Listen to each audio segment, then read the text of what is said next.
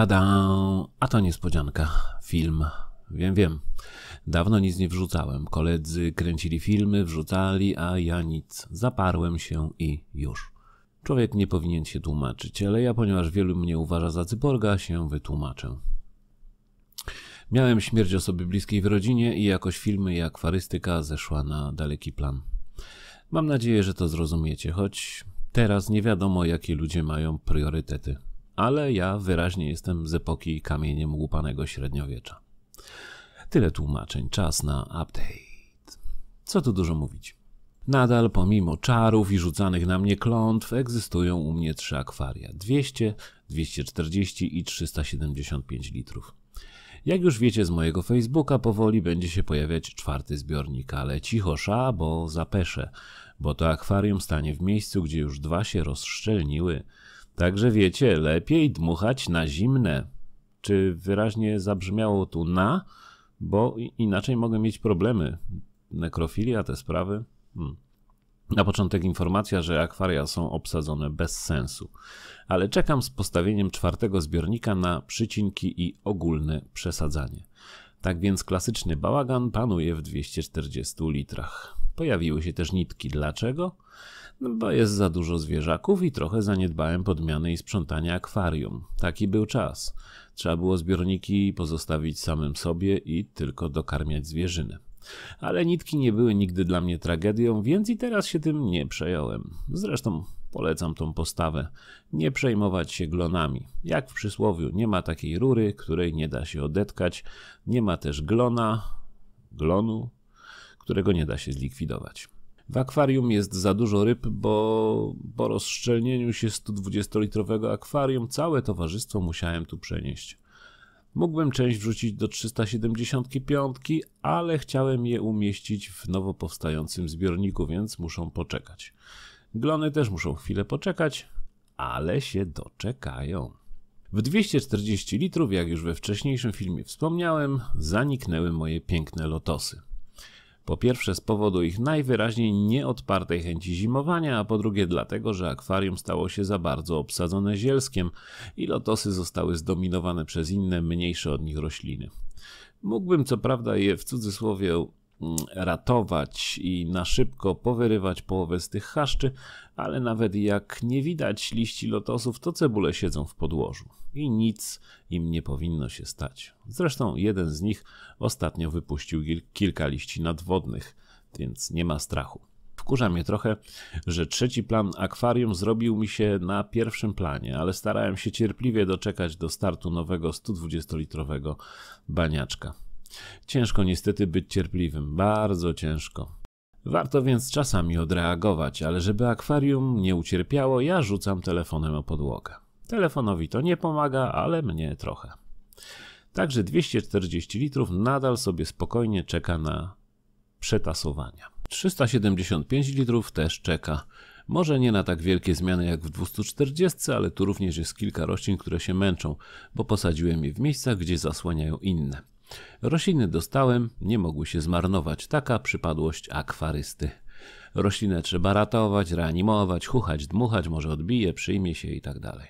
Dlatego też pojawiły się tu nowe żabienice, które muszę umieścić w zupełnie innych miejscach ale akwarium się ustabilizowało, szczególnie po wyjęciu korzenia. Glony, które się tam co jakiś czas pojawiały, zniknęły całkowicie. Podwyższyłem poziom, poziom światła z 50% lampy do 75%.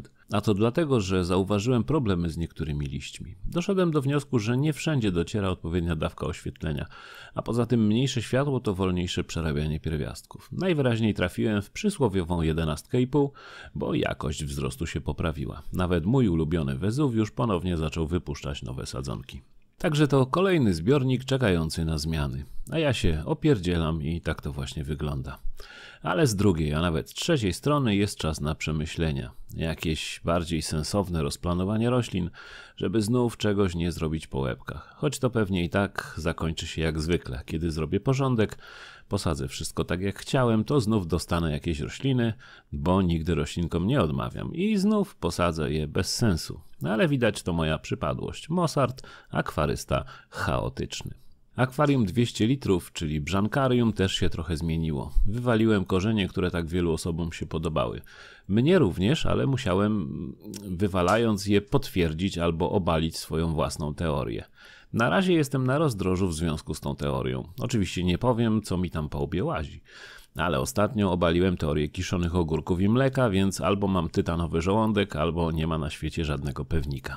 Dwusetka przeżywa nadal wysyp okrzemek i sinic, ale wydaje mi się, że zacząłem nad tym panować. Pierwsze co zrobiłem, to pozbyłem się korzeni. Drugie to sprawdziłem czas oświetlenia tego zbiornika i okazało się, że moje drugie ja, czyli Mossart Kretyn, ustawił tam przez przypadek 8 godzin oświetlenia. A może inaczej, nie ustawił, ale po prostu nie sprawdził ustawień na zegarze, a zegar ustawiony był pod belkę, która nie miała regulowanej mocy oświetlenia. A że moim zdaniem dawała za dużo światła, musiałem ograniczyć to czasem świecenia co nie jest dobre i nie należy tego powtarzać w domu samemu bez zgody rodziców i komitetu blokowego. Tak więc po sprawdzeniu tegoż czasu podwyższyłem go do 10 godzin świecenia, co z pewnością nie spodobało się okrzemkom. Tu też potwierdziłem swoją teorię, którą potwierdzałem już kilka razy, ale ciągłe potwierdzanie potwierdzonego prowadzi do utwardzenia i zaparcia.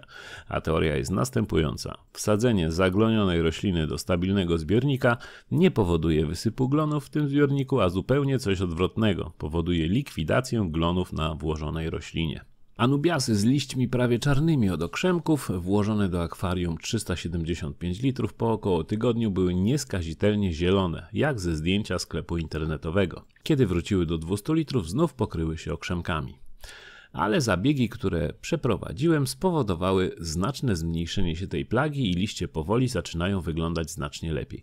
Przy okazji dwa zbrojniki wprowadzone do tego akwarium powoli oczyściły je z resztek sinic, które zalegały szczególnie na tylnej szybie i w górnych warstwach zbiornika. Chwała wam zbrojniki za waszą robotę. Brawo wy, brawo ja i brawo girl. Tu taki mały trend. Jak wiecie, to co słyszycie teraz z głośników zostało wcześniej napisane. Informuję więc, że pisząc słuchałem Nirwany z płyty Nevermind. To tak a propos Bravo Girl. Nie wiem, czy ryby lubią Nirwanę, ale ja i owszem. Tak więc 200 litrów sobie stoi, dzieje się w nim coraz lepiej, choć nadal jest najgorzej wyglądającym zbiornikiem. To trochę pech, bo stoi w przedpokoju zaraz przy wejściu z klatki schodowej, więc każdy, kto do mnie wchodzi, widzi je jako pierwsze. Taka trochę chybiona wizytówka akwarysty Mosarta. Ale to się jeszcze odbuduje. W 99% obrośnięte jest kryptokorynami, co powoduje, że nie ma tu na razie podziału na plany i jest trochę płasko. Anubiasy, jakiś rogatek i Barclaya, która nie wiadomo skąd się wzięła, na razie są w mniejszości i głosu nie mają. A tu z kolei nie chcę grzebać na razie, żeby nie popsuć tego, co udało mi się już postawić na nogi. W akwarium pływa coraz mniej brzanek, bo systematycznie się wybijają i jakoś straciłem zapał do tych ryb. Więc akwarium wygląda jak wygląda. Zarośnięte jest, krypcie sobie powoli rosną i się rozprzestrzeniają, wolnego miejsca już nie widać, ale nie jest tu nadal tak, jakbym chciał, więc nie wiadomo, czy akwarium nie zostanie pozbawione obsady, czy nie zostanie zmieniona roślinność i czy nie dołożę ceramicznego ubota ale to sprawa przyszłości i z pewnością Was o takich cudach poinformuję. Na koniec truskawka na wisience na cieście na torcie, czyli zbiornik 120 litrów, który przechodzi próby szczelności. Więc przyglądać się nie ma czemu, ale krótko opowiedzieć powinienem skąd wzięło się to akwarium. Moje stare 100 litrów rozszczelniło się i stało w tym miejscu do połowy napełnione wodą, a w wodzie moczyły się skały lignitowe.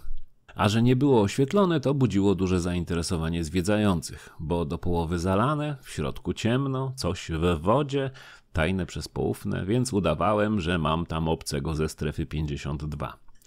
Ale potem pomyślałem, że jak ludzie mi tak wierzą we wszystko, to i w to mogą uwierzyć, a to może zaowocować wizytą smutnych panów w czarnych okularach i mi lignit bydlaki zabiorą, a i wcześniej mogą drzwi wyważyć i gdzie ksiądz kredą będzie rzeźbił? Więc przestałem udzielać informacji. I wtedy właśnie jeden z łódzkich akwarystów zaproponował mi zbiornik 120 litrów, który widzicie. Jemu był całkiem zbędny, a mnie ten z lignitem już wkurzał.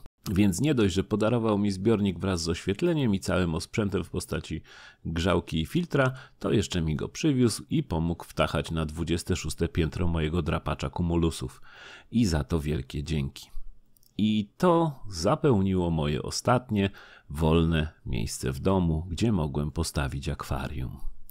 Akwarium oczywiście nie jest nowe, ale ja też do najnowszych nie należę. W każdym razie akwarium jest szczelne, światło się pali, a ja jestem przytruty od farby w spraju, którą pomalowałem bardzo wprawnie tylną ścianę.